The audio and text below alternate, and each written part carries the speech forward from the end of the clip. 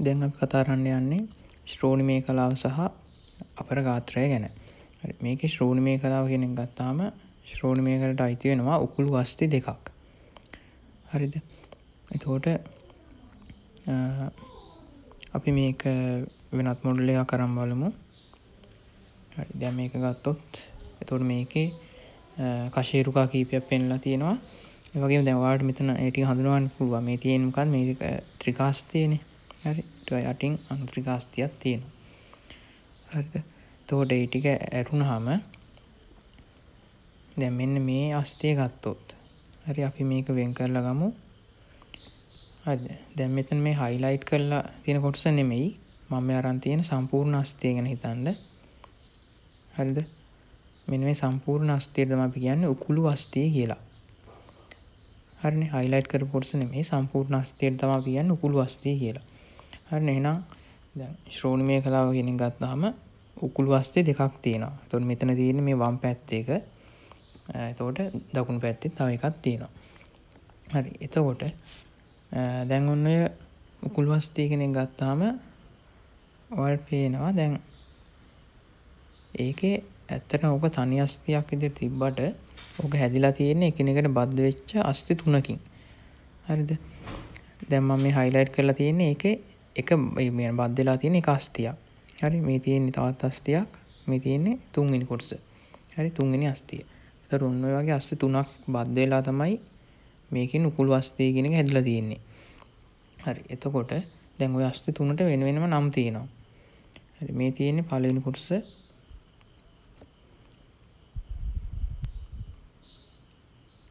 මේකට අපි සිංහලෙන් කියන්නේ යකන පලක අස්තිය කියලා. හරි මෙන්න මේ තියෙන ලොකු කොටස. ඒතර ඕකට කියන්නේ ජගන පලක අස්තිය කියලා. දැන් බලන්න මෙන්න මෙතන තියෙනවා ඒකේ සන්දාන මුහුණතක්. මෙන්න මේ සන්දාන මුහුණත සන්දානය වෙනවා මොකක් එක්කද? අර අපි කලින් මේ කතා කරා ඇත්තටම ත්‍රිකාස්තිය ගැන කතා කරද්දී ත්‍රිකාස්තිය ඇවිල්ලා සන්දානය වෙන්නේ මෙන්න මේ ශ්‍රෝණිමේ කලාවේ උකුළු අස්තිය තියෙන ජගන පලක අස්තියත් එක්ක. හරි මේ තමයි ඒක සෙට් වෙන සන්දාන මුහුණත. මෙතනට ගිහිල්ලා ආයි බැලුවොත් ඔයාලට පේනවා. ත්‍රිකාස්තියයි මේකයි තමයි සම්බන්ධ වෙලා තියෙන්නේ. හරි ඊට පස්සේ දැන් මේ කුළු අස්තිය තියෙන මෙන්න මේ කොටසට මෙන්න මේකට අපි සිංහලෙන් කියන්නේ යුනිකාස්තිය කියලා. මේ කොටස යුනිකාස්තිය. එතකොට මෙන්න මේ කොටසට කියන්නේ කුකුන්දරාස්තිය කියලා. හරිද? එතකොට ජගන ඵලක අස්තියයි යුනික අස්තියයි කුකුන්දර අස්තියයි කියන තුන බද්ධ වෙලා තමයි මේක මේ උකුළු අස්තියක් හැදෙන්නේ. හරිද? හැබැයි දැන් ඔය මම ඔය නම් තුන කිව්වට ඔයාලගේ සිලබස් එකේදී ඔය මේ නම් තුනම නැහැ. හරිද? ඒ කියන්නේ ඔයාලට මේකෙදී එක තැනක විතරයි හම්බෙන්නේ ජගන ඵලක අස්තිය කියන වචනේ. හරිද? ඒකත් ත්‍රිකාස්තිය ගැන උගන්වද්දි තමයි හම්බෙන්නේ. ත්‍රිකාස්තිය ජගන ඵලක අස්තියත් එක්ක සන්දාන වෙනවා කියලා ඔයාලට උගන්වනවා. හරි දන්න එතෙන්දි විතරයි ඒ නම හම්බෙන්නේ. එහෙම නැත්නම් දැන් යුනිකාස්තිය සහ හුකුන්දරාස්තිය කියන ඒවා ගැන ඔයාලට උගන්වන්නෙත් නැහැ. හරිද? ඒ නිසා එයා වැදගත් වෙන්නේ නැහැ. ඔයාලට ජගන පලකස්තිය කෙනෙක් විතරක් දැනන් හිටියනම් ඇති. එතකොට දැන් අපි ශ්‍රෝණිමය කලාට අයත් උකුළු අස්තිය ගැන දන්නවා. ඊගන් බලන්න ඕනේ අපර ගාත්‍රයේ තියෙන අස්ති ටික ගැන. එහෙම නැත්නම් පහළ ගාත්‍රය හැදිලා තියෙන අස්ති. ටික අපි මුලින්ම හඳුනගෙන ඉන්න ඕනේ. හරි. දැන් මෙන්න මෙතන ගත්තොත් මෙන්න මෙතන තියෙනවා තනි අස්තියක්. උකුළු සංදියේ ඉඳන් දණහිස් සංදිය වෙනකම්. මෙතන තියෙන්නේ තනි අස්තියක්. හරි දොන්න ඔය කියන ප්‍රදේශයට අපි කියන්නේ කලවය කියලානේ. හරිනේ. ඒ නිසා මෙන්න මේ තනි අස්තියට අපි නමක් දෙනවා කලවාස්තිය කියලාත්. හරිද? ඒ වගේම ඒකටම කියන අපි ඌරුවාස්තිය කියලා. හරිද? ඔයාලේ නම දෙකම දනන් ඉන්න ඕනේ. හරි මේකට ඌරුවාස්තිය කියලාත් කියනවා. කලවේ හදන්න දායකන හින්දා කලවාස්තිය කියලත් කියනවා. හරිද? හරි ඊට පස්සේ දැන් ඔයාලට මෙන්න මේ මේ තියෙන්නේ ධනහිස් සංධිය කියන එක ඔයාලට තේරෙනවනේ. ඒතකොට ධනහිස් සංධිය ඔයාලා දන්නවා මෙතන ධනිස් ධනිස් කටුව කියලා එකක් තියෙනවා. නේද? අපිට අල්ලා බලන්න පුළුවන් ධනිස් කටුව. ඒතකොට මේ තියෙන්නේ ඉන්නේ ධනිස් කටුව කියන අස්තිය. හරිද? ඔක වෙන් කරලා ගත්තොත් මෙන්න මෙහෙම අස්තියක් ඔය තියෙන්නේ. හරි එතකොට කලින් ඌර්වාස්තියත් අපි වෙන් කරලා බැලුවොත් මෙන්න මේ වගේ එකක් තමයි තියෙන ඌර්වාස්තිය. හරිද? ඊගාට බලන්න මෙන්න මෙතන ධනහිස් සංදියේ ඉඳන් වල්ලු කර සංදිය වෙනකම් තියෙන කොටස ගත්තාම මේක හැදලා තියෙන්නේ අස්ති දෙකකින්. හරිද? හරිය නිකන් අර අපේ අත ගැන කතා කියන්නේ පූර්ව ගාත්‍රය ගැන කතා කරද්දී වැලමිට සංදී නම් මැණික් කටු සංදිය වෙනකන් තිබුණේ තස්ති දෙකක්නේ. අන්න ඒ වගේ තමයි මේකත් දැන් අර පූර්ව ගාත්‍රය සහ අපර ගාත්‍රය අතර ඒ වගේ සංසන්දනයක් කරන්න පුළුවන් ඔයාලට. හරි. ඒතකොට දැන් මෙතන තියෙන අස්ති දෙක අපි හොයාගන්න ඕනේ. හරි. මෙන්න මේ තියෙන අස්තියට අපි කියන්නේ ජංගාස්තිය කියලා. හරිද? ජංගාස්තිය කියලා කියන එහෙම නැත්නම් ඕකටම කියනවා කෙන්ඩ අස්තිය කියලා. හරි ජංගාස්තිය කියොත් හරි එහෙම නැත්නම් කෙන්ඩ අස්තිය කියලාත් කියනවා. හරි මෙන්න මේ වගේ අස්තියක්. හරි ඊගාර මේ තියෙන්නේ අනුජංගාස්තිය කියන අස්තිය. හරිද? මේකට කියන්නේ අනුජංගාස්තිය කියලා. මේක ජංගාස්තිය මේකට කියන්නේ අනුජංගාස්තිය.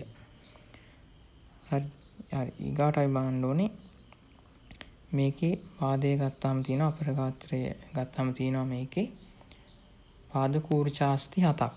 දැන් අපි පූර්වගාත්‍රය ගැන කතා කරලා තිබ්බා. එතන හස්ත කූර්චාස්ති. හැබැයි එතන හස්ත කූර්චාස්ති 8ක් තිබුණේ. හරිද? දැන් මෙතන ගත්තාම පාදයේ තියෙනවට කියන අපි පාද කූර්චාස්ති කියලා. ඒකට අර පූර්වගාත්‍රයටම අනුරූපයි මේ අපර ගාත්‍රය. හරි.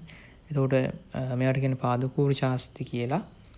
ඒ වගේම වලලු කරස්ති කියලත් කියනවටම හරි. එතකොට අපිට වලලු කරස්ති හතක් මේකේ දකින්න පුළුවන්. අපි ඒක ලං කරලා බලමු.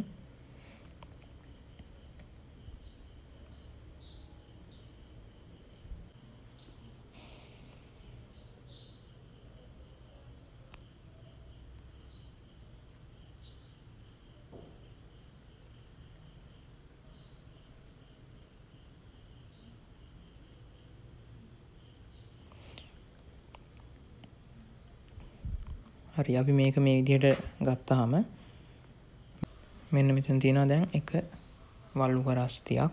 තුන මේ තියෙන්නේ තවත් අස්තියක් හරිද? තොඩේ අස්තිය වෙන් කරලා ගත්තොත් තුනමයි පේන්නේ.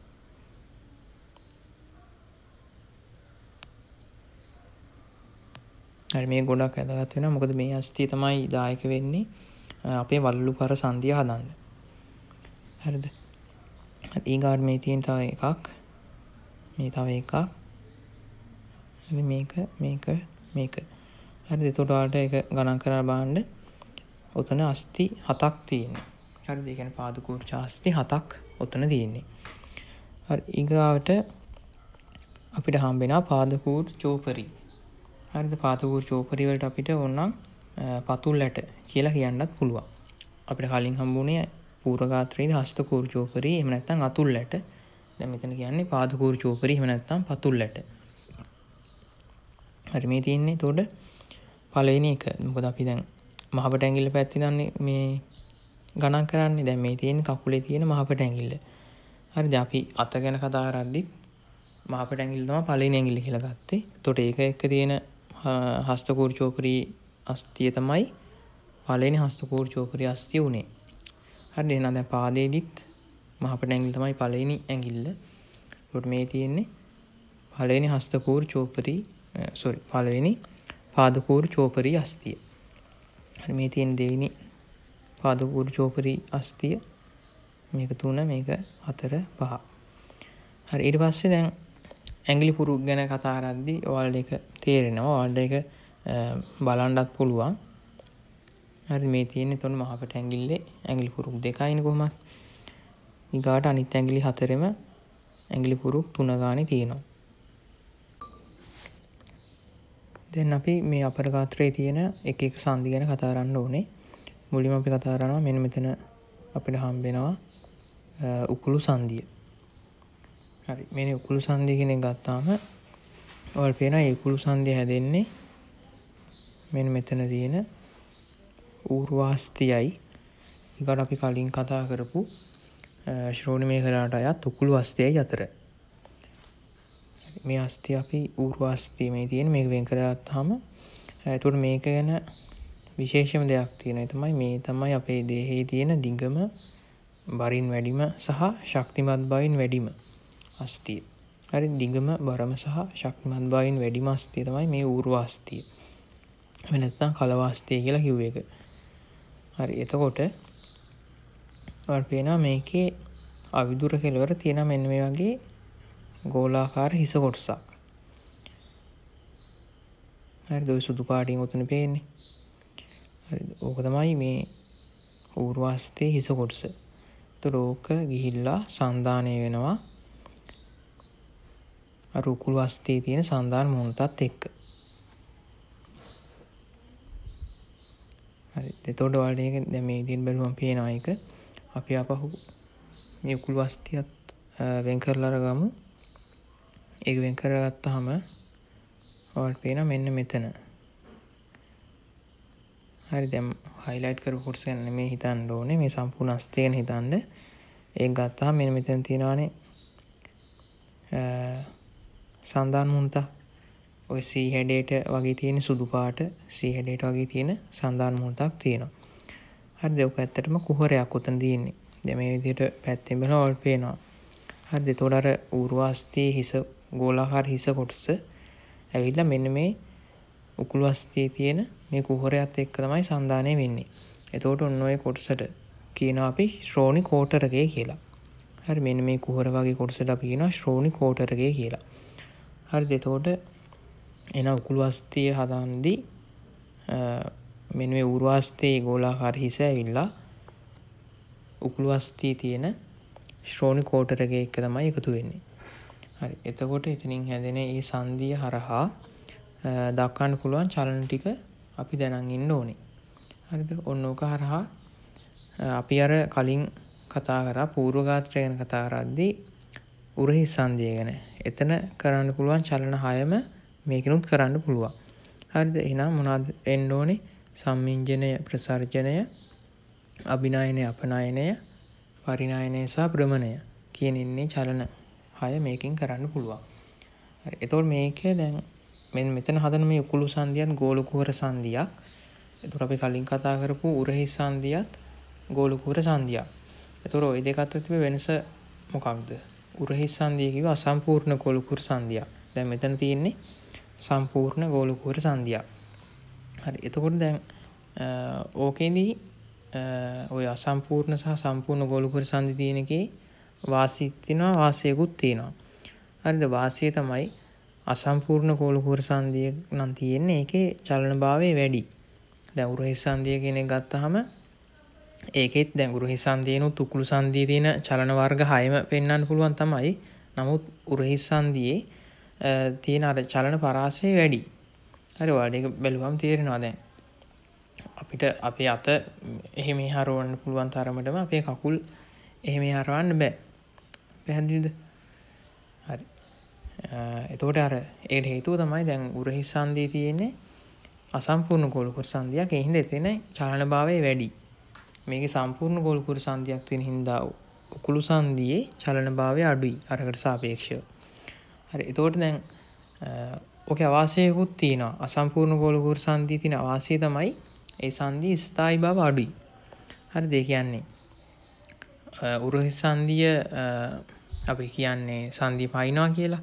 හරි? එතෝට උරහි සන්දිය පයින්ඩ තියෙන හැකියාව වැඩි මොකද අසම්පූර්ණ ගොලකුර සන්ධයක් හින්ද. හරි හැබැයි ඊට සාපේක්ෂව මේ උකුළු සන්දිය ගොඩක් ශක්තිමත්. මේක පූර්ණ ගොලුවර සන්ධයක් නිසා.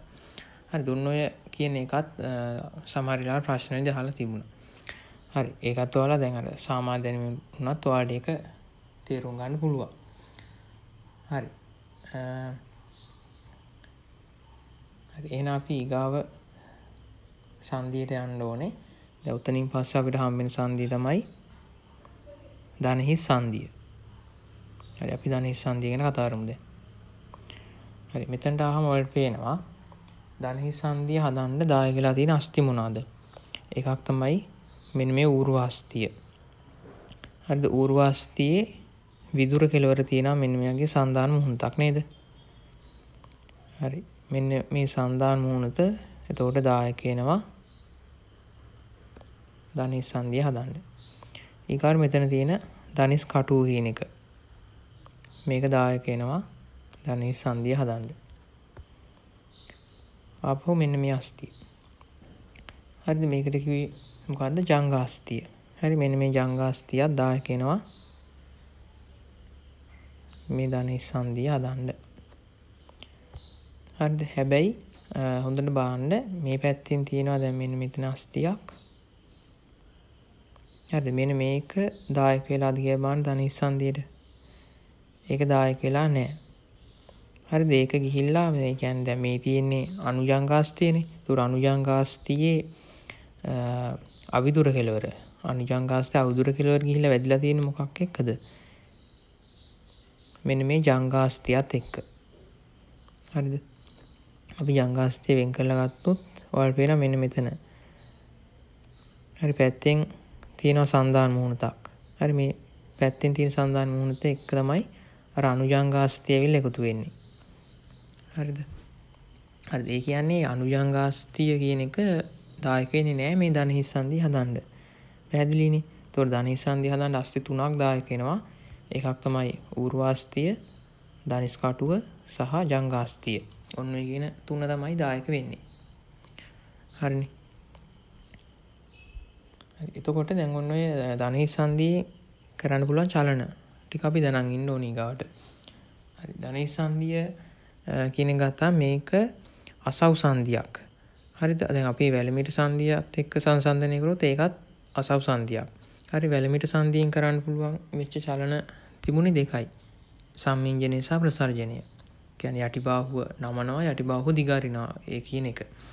හරි එතකොට දැන් එතන තිබුණ චලන දෙකයි හැබැයි දැන් ධනහිස් සන්දියෙන් සම්මිංජනය සහ ප්‍රසජනය කරන්න පුළුවන් ඊට අමතරව එක චලනයකුත් තියෙනවා ඒ තමයි භ්‍රමණය. හරි ධනහිස් සන්දිතවට චලන තුනක් තියෙනවා. සම්මිංජනය ප්‍රසර්ජනය සහ භ්‍රමණය. හරි ඒතකොට මේ භ්‍රමණය කියන එක ගොඩක් විශේෂයි. මොකද දැන් අසව් සන්දියක්නේ. ධනහිස් සන්දිය කියන්නේ අසව් සන්දියක්. එතකොට අසව් සන්දියක සාමාන්‍ය ස්වභාවය තමයි එකකින් පෙන්වන්න පුළුවන් ඉන්නේ සම්මිංජනය සහ ප්‍රසර්ජනය කියන චලන දෙක විතරයි. හරිද හැබැයි දැන් මෙතන ගත්තාම මේක අසවසන්ධයක් වුණාට මේකෙන් භ්‍රමණය කියන චලනයකුත් පෙන්වන්න පුළුවන්. හරිද? ඒකත් ටිකක් වැදගත්. හරි. ඔයාලා ඒක දැනන් ඉන්න ඕනේ. හරි. අනිත් දේ තමයි මේ ධනහිස් සංදියට ලොක් වෙන්න පුළුවන්. හරි. දැන් අපි ගොඩක් වෙලා හිටගෙන ඉද්දි මේ ධනහිස් සංදිය කියන්නේ අපි හිටගෙන ඉන්න පිහිටුමේදී ධනහිස් සංදිය ලොක් වෙනවා. ඒ කියන්නේ අගුළු වැටෙනවා. හරිද එතකොට ඒකට අපි ඒකේ මොකද වෙන්නේ අපිට සෑහෙන වෙලාවක් එක දිගට හිටන් ඉන්න පුළුවන් හැකියාව ලබා දෙනවා. ඒ දන්නේ සංදි අකුළු වැටෙන නිසා. හරි දැන් අපි ධනෙහි සංදියෙන් පල්ලෙහා කොටස ගැන බලමු. හරි මේ කොටස ගත්තම දැන් අපිට ඊගාට හම්බෙන්නේ වලලු කර සංදිය. හරි එතකොට ධනෙහි සංදි නම් වලලු කර සංදියනකන් තියෙන කොටසට අපි කියන්නේ කෙන්ඩය කියලා. හරිනේ එතකොට ඒ කේන්ඩය කියන ප්‍රදේශය හදන්න අස්ති දෙකක් දායක වෙනවා. ඒ තමයි මේ ඉන්න ජංගාස්තිය සහ අනුජංගාස්තිය. හරිද? ඒක පටල ගන්න එපා දැන්. කෙන්ඩේ හදන්න දායක වෙන අස්ති කිව්වොත් ජංගාස්තියයි අනුජංගාස්තිය දෙකම එනවා. හරිද? හැබැයි අපි කෙන්ඩාස්තිය කියලා කියන්නේ මොකේට විතරද? ජංගාස්තියට විතරයි. හරිද? ඔයාලට පේනවා දැන් අර ජංගාස්තිය තමයි ඇත්තට මෙතන ටිකක් ලොකුවට ඉන්නේ නේද? අනුජංගාස්තිය කියන එක කෙනා හීනි එකක්. හරි පැත්තෙන් ඉන්න හීන එකක් එතෝට වල්ඩ හිතාගන්න පුළුවන් එහෙම අර ප්‍රධාන වගේ ඉන්න නිසා අපි කෙන්ඩය කෙන්ඩාස්තිය කියලා කියන්නේ ජංගාස්තියට විතරයි. හරින? හැබැයි කෙන්ඩය හදන අස්ති මොනාද කියලා ඇහුවොත් මේ අස්ති දෙකම එනවා. හරි කිව පැදිලිනේ කිව්ව එක නේද?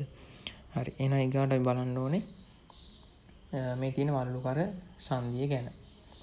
වල්ලුකර සන්දිය හදන්න දායකන අස්ති ටික හොයාගන්න ඕනේ. හරි ඔකට දායකෙනවා ජංගාස්තිය අනුජංගාස්තිය සහ විශේෂිත පාදපූර්ව ශාස්තියක්. හරිද? එතකොට මෙන්න මේක ගත්තොත් ජංගාස්තිය මේ තියෙන්නේ මේකේ විදුර කෙලවර ජංගාස්තිය විදුර කෙලවර දායක වෙනවා. ඊගාට මෙන්න මේක. දැන් අනුජංගාස්තියත් මේකට දායක වෙලා තියෙනවා. හරි මෙන්න මෙහෙම බැලුවොත් තවල් පේනවා.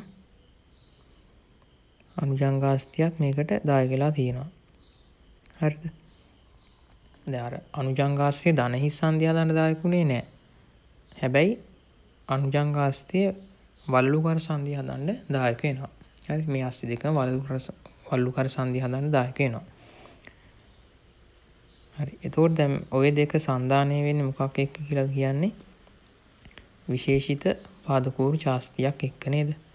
හරි එතකොට දැන් අපි අර අත ගැන කතා කරද්දී එතනත් තිබුණ පාද එතන තිබුණේ හස්තකූරු ශාස්ති 8ක් ඒකට ඒවටත් වෙන වෙනම නම් තිබුණා හරිද අපි නම් උගන්වන්නේ නැති නිසා මොකද කියන්නේ අර මොකක් හරි එකක් විශේෂයෙන් කියන්න ඕන නම් අපි ඒකට කිව්වේ විශේෂිත හස්තකූරු ශාස්තිය කියලා හරි විශේෂිත හස්තකූරු ශාස්ත්‍රයක් එක්ක සන්දාන වෙනවා. එහෙමයි ඔයාලට කියන්නේ. මොකද ඔයාලා නම් දන්නේ නැති හින්දා. ඒ වගේ වෙන වෙනම. හරි දැන් මෙතනත් එහෙමයි. මෙතන පාදකූරු ශාස්ත්‍රි හතක් තියෙන්නේ. ඔය හතේ වෙන වෙනම නම් දන්නේ නැහනේ. ඒ හින්දා අපි මෙන්න මේකට කියනවා විශේෂිත පාදකූරු ශාස්ත්‍රයක් කියලා. හරිද? ඒකට වාට ඉංග්‍රීසි නම් මෙතන පේනවා. අපි මේකට සිංහලෙන් නම් නම දන්නේ නැති හින්දා ඔයාලා මොකක්ද කියන්නේ? මේකට කියනවා විශේෂිත පාදකූර් ශාස්ත්‍රයක් එක්ක මේ ජංගාස්තිය සහ අනුජංගාස්තිය කියන දෙක එකතු වෙලා තමයි වල්ලුකර සංදිය හදන්නේ කියලා. පැහැදිලිද? මෙන්න මේ එක පාදකූර් ශාස්ත්‍රයයි දායකයන් එතකොට වල්ලුකර සංදිය හදන්න. හරි. එතකොට දැන් මේකෙන් පෙන්වන චලන ටික ඊගාට හොයාගන්න ඕනේ.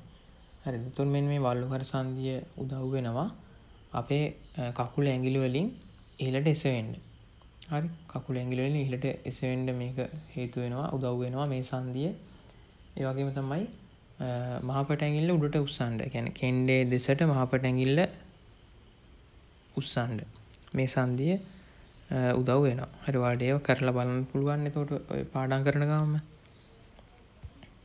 හරි ඊගාට මේකේ පාදකූරු ශාස්ත්‍රය අතරත් සන්ධි තියෙනවා දැන් අර කලින් අපි කතා කරද්දී අපිට හස්තකූර් ශාස්ත්‍රය හම්බුණානේ හස්තකූර් ශාස්ත්‍රය අතරත් සන්ධි තිබ්බා චලන භාවය අඩු දැන් මෙතනත් එහෙමයි පාදකූර් ශාස්ත්‍රය අතරත් ඒ සන්ධි තිබ්බට ඒ වගේ චලන භාවය ගොඩක් අඩුයි. හරි ඊගාට අපිට පාදකූර් චෝපරි හම්බ වෙනවා හරිද? ඒතෝට ඒ වගේ අවිදුර කෙලවර සන්ධානය වෙන්නේ අර පාදකූරු ශාස්තිත් එක්ක. හරි එතකොට වගේ විදුර කෙලවර සන්ධානය වෙන්නේ ඇඟිලි පුරුක් එක්ක. හරි එතකොට ඒ කොටස් අර අපි අත ගැන කතා කරද්දි තිබුණු කොටස් එක්ක බොහෝදුරට අනුරූපයි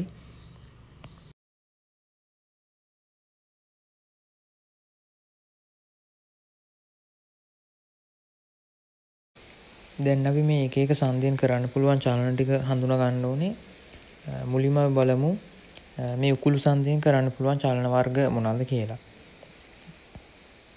හරි. මේ පෙන්ලා තියෙන්නේ ෆ්ලෙක්ෂන්. ඒ කියලා කියන්නේ මොකද්ද? සම්මිංජනය කියන එක. හරිද? ඊගාට ඕකේ විරුද්ධ පැත්තට එන එක. ඒ කියන්නේ ප්‍රසර්ජනය.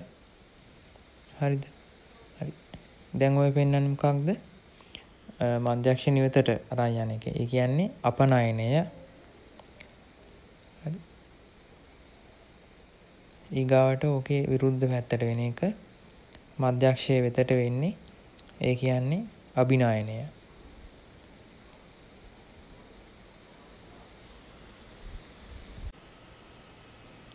මේ පෙන්වන්නේ භ්‍රමණය.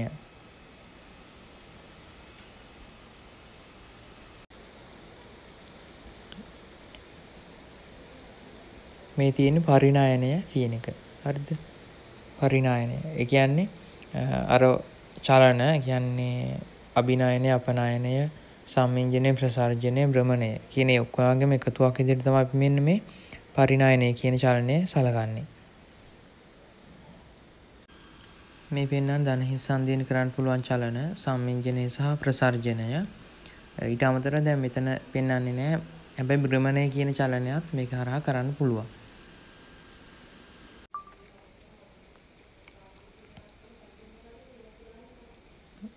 මේකින් පෙන්වන්න මේ වල්ලුකර සන්ධියෙන් කරන්න පුළුවන් චලන. ඒතර ඔය පෙන්ලා තියෙන්නේ පාදයේ ඇඟිලි ඉහළට උසුපු අවස්ථාවනේ. ඒතර මේක තමයි අර කෙන්ඩේ දෙසට මහපට ඇඟිල්ල ඔසවන්න පුළුවන් කියලා ඔයාලට අර කිව්වේ කලින්. හරිද? පාදයේ ඇඟිලි ඉහළට ඔසවන්න පුළුවන් ඔන්න ඔය කියන වල්ලුකර සන්ධිය හරහා. හරි ඊගාට ඕක අනිත් පැත්ත. ඕක අනිත් පැත්ත නාන පුළුවන් කියන්නේ අර පාදයේ ඇඟිලි වලින් අපි උඩට එස්සෙන්ට පුළුවන් කකුල ඇඟිලෙන් උඩට එස්සෙද්දි වෙන්නේ මෙන්න මේ වගේ දෙයක්නේ. හරිද? ඒක තමයි එතකොට ඔය තියෙන්නේ. පැහැදිලිද? මේ පාදය කියන කොටස ගැන ඔයාලා දැනගන්න ඕන තව වැදගත්ම දෙයක් තියෙනවා. ඒ තමයි මේ පාදයේ තියෙන වක්‍රතා කියන එක. හරිද? දැන් ඔයාලට පේනවා හරි මේ රූප සටහනුත් පේනවා. එහෙම නැතුව දැන් ඔයාලා කකුල දිහා බැලුවත් පේනවා. එතකොට ඕක තනිකරම ෆ්ලැට් වෙච්ච එකක් නෙමේනේ. ඒ කියන්නේ යටි පතුල අරගෙන බැලුවොත් ඕක වක්‍ර ගතියක් තමයි තියෙන්නේ. එහෙම නැතුව සම්පූර්ණයෙන්ම පැතලි එකක් නෙමෙයි. සාමාන්‍ය පුද්ගලයෙකි තියෙන්නේ. හරිද? එතකොට ඔන්න ඔය පතුලේ තියෙන වක්‍රතාවලටම අපි කියන්නේ පාදයේ තියෙන වක්‍රතා කියලා. එතකොට දැන් ඔය වක්‍රතා ගත්තාම දැන් මේ රූප සටහන වෙන පෙන්ලා තියෙනවා. අපිට හඳුනා ගන්න පුළුවන් වක්‍රතා තියෙනවා තුනක්. හරිද? දැන් බලන්න මේකේ කොළපාටී තලයයි. ඉගාට නිල්පාටී තලය බාණ්ඩකු එව යන්නේ විළුඹ පැත්ති දම් අර ඇගිලි ඇගිලි දිශාට හර දෙ ගැන පාදය දිගාතට තමයි යන්නේ. එනිසා ඒ වක්‍රතාවට අපි කියනවා අන්වායාම වක්‍රතා කියලා. හරිද? එතෝට මේ බාන අන්වායාම වක්‍රතා දෙකක් තියෙනවා. හරි? ඊගාවට තව රතුපාට ඉතලින් පෙන්ලා තියෙන වක්‍රතාවයක්. ඒක ඇවිල තියෙන්නේ හරස් අතට. ගැන් පාදේ තියෙනවා නම් පාදේ දිගාතට නෙමෙයි. හරස් අතට තමයි ඇවිල්ලා තියෙන්නේ. එතකොට ඒකට කියන අපි තීරයක් වක්‍රතාවයක් කියලා. හරිද? එතකොට මේ පාදේ තියෙන අන්වායාම වක්‍රතා දෙකක් සහ තීරයක් වක්‍රතාවයක්. දැන් මේ රූප සරණුත් ඕකම තමයි පේන්නේ. මේකනොත් කොළ පාටිනුයි ආපහු නිල් පාටින් පෙන්ලා තියෙන අන්නායාම වක්‍රතා දෙක. ඊගා රතු පාටින් පෙන්ලා තියෙන තීරයක් වක්‍රතාවය. හරි එතකොට මේ වක්‍රතා තියෙන එකේ වැදගත්කම තමයි මේ වක්‍රතා හේතු වෙනවා පාදයේ බර ඒ කියන්නේ දේහ බර පාදය හරහා සමානව ව්‍යාප්ත කරන්න. කියන්නේ ඇවිදිනකොට හරි නැත්නම් හිටගෙන ඉන්නකොට හරි අපේ දේහ බර සම්පූර්ණයෙන්ම පොළොවට සම්ප්‍රේෂණය වෙන්නේ මේ පාදය හරහානේ. එතකොට ඒක සම්පූර්ණ පාදය හරහාම සමානව ව්‍යාප්ත කරන්න මෙන්න මේ කියන වක්‍රතා තියෙන එක ගොඩක් වැදගත් වෙනවා. හරිද? හරි එතකොට දැන් මේ වක්‍රතාවය පවත්වාගෙන යන්න බලපාන සාධක කීපයක් තියෙනවා අපි ඒකටත් දැනන් ඉන්න ඕනේ. හරිද? ඒ කියන්නේ